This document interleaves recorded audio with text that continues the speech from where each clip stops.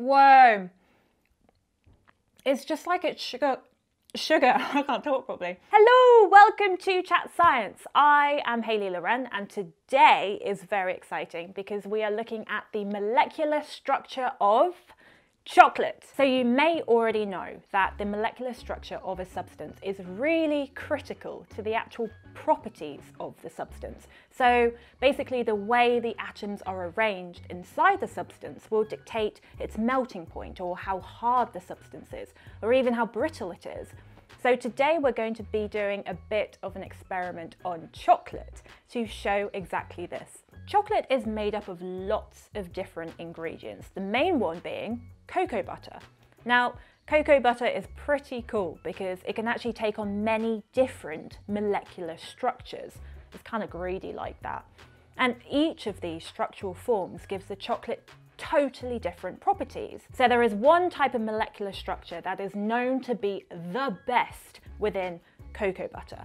And that's because it gives the chocolate the property of having a melting point which is exactly the same as the temperature within our mouths. So that is why you're able to get that amazing melt in the mouth moment. But have you ever had chocolate that has this really weird waxy texture and doesn't actually melt in your mouth? That's probably because the molecular structure isn't the best type. So let's get started with the experiment to show how the molecular structure of chocolate impacts the properties of the chocolate. So to do the experiment, we need to melt a bit of chocolate. So I've got a deep dish here and I have a glass of chocolate.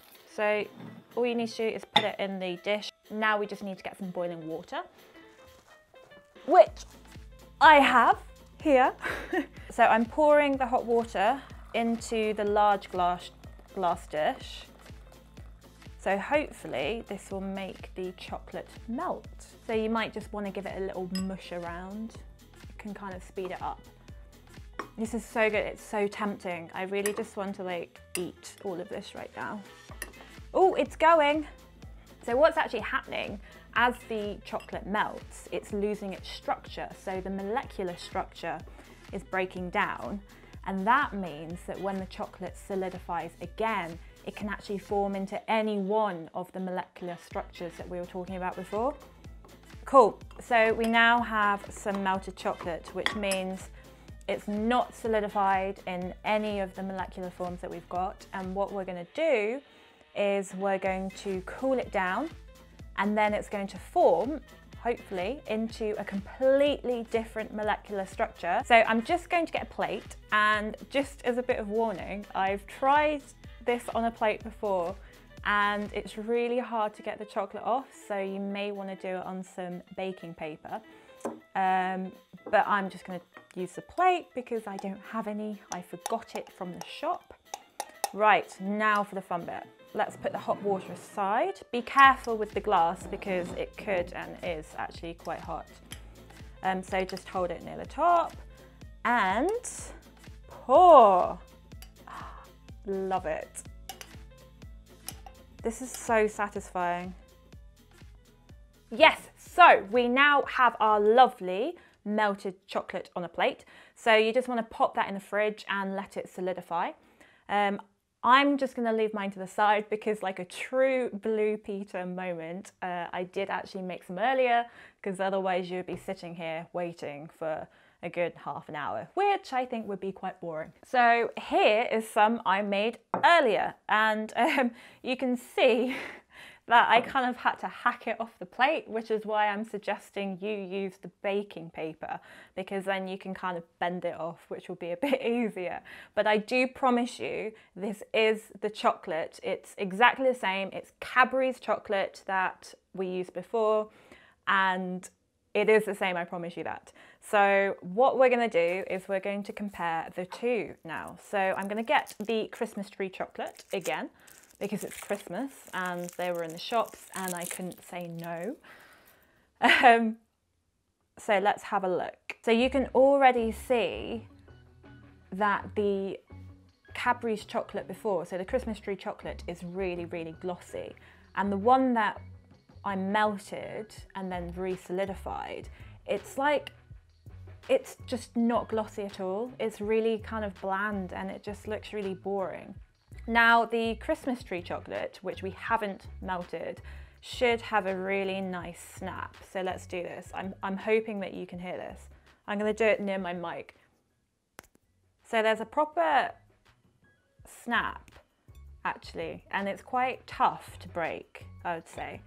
Whereas the one that we melted and then re-solidified, it's like really bendy. You know what, I was expecting that there would be a difference, but I didn't think it would be that different.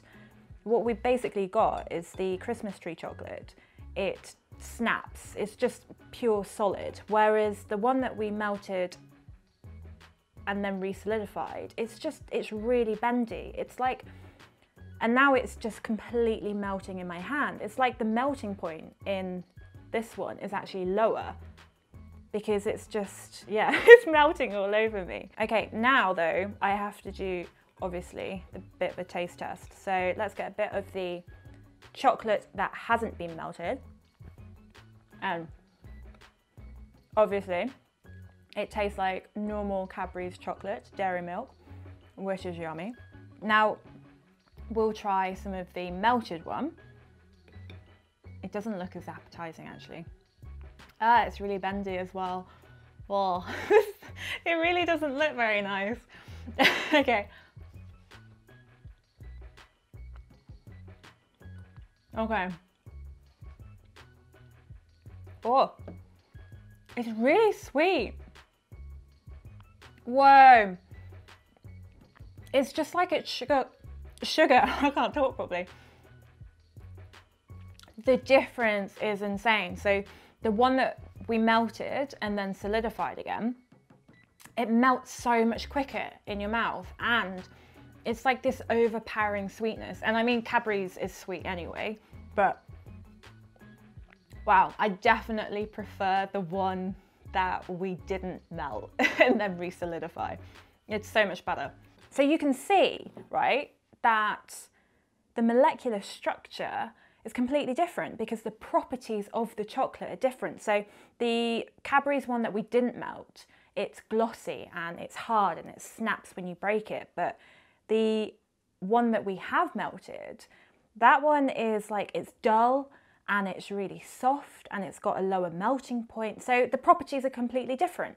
So why this is important and what is really cool about this is that it shows that the molecular structure of a substance completely impacts and dictates the properties that it has. So it could be chocolate or it could be this this plate, it could be the table and it could be you and me. Like we are all made of atoms that are bonded together in different ways. And we are all formed by complex molecular structures.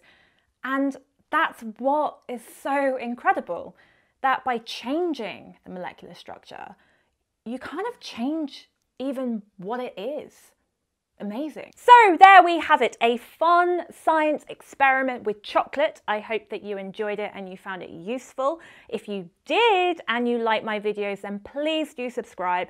And if you have any questions, just put them in the comments below. So see you next week.